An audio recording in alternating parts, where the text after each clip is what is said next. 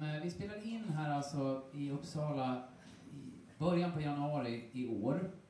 Och jag tror att det var på nyårsafton som jag, jag hade lovat att jag skulle skicka någonting in, innan eh, årets, eh, årets, årets utgång förra året till eh, herrarna här. Och eh, så på nyårsafton fick de en eh, skiss på en ny låt eh, som vi sen blev att spela in.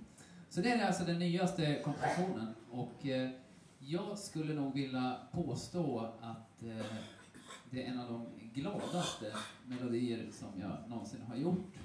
Eh, och det är lite så här, den, den, passar väldigt bra här idag också. Det är ju, vi firar ju mycket här idag och jag firar mycket framförallt. Och det är så, eh, så att det här blir extra kul att få spela den här idag. Just Flowing heter den också och det är väl tänkt att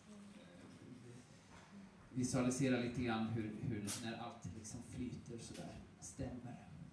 Just Flowing.